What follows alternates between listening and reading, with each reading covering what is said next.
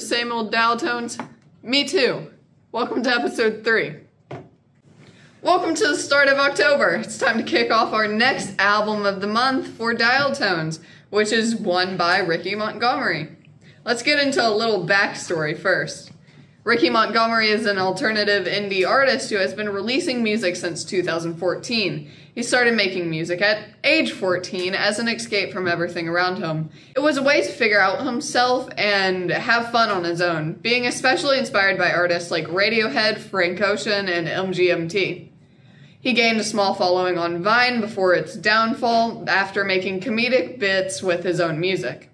He now has his own band called the Honeysticks, but for this month we're going over his solo music off of his Montgomery Ricky album, which came out in 2016 with some notable songs like Mr. Loverman and Line Without a Hook, which you could likely recognize yourself.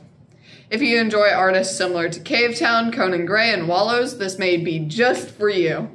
Today we will be talking about Cabo, a song off of his 2016 album Montgomery Ricky. The genre is alt indie like most of his other music.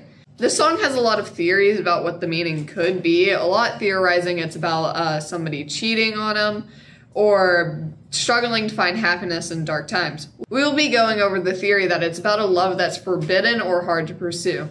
The lyrics talk about our main character as this guy that's reserved and concealing his feelings for this person because it's looked down upon and that he shouldn't be with him with lines like do what you can with me but do it quietly says that they want to be with this person but they need to be quiet about it. They have to hide it.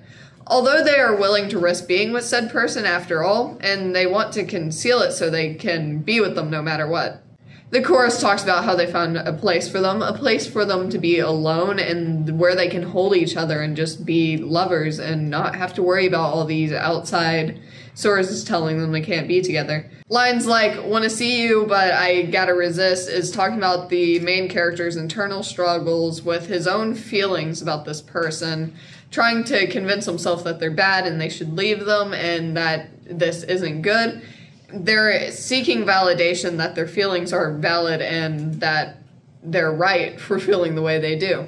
Overall, Cabo is about struggling with the love that's forbidden and assumed to be society's eyes, talking about how they still want to be with them and they're willing to find a secret, safe place they can be together. They're willing to take the risk of being with them no matter what others say about it because they truly love this person, even if they're bad for them.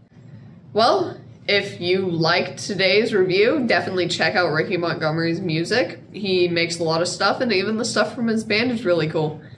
We'll catch you in the next one.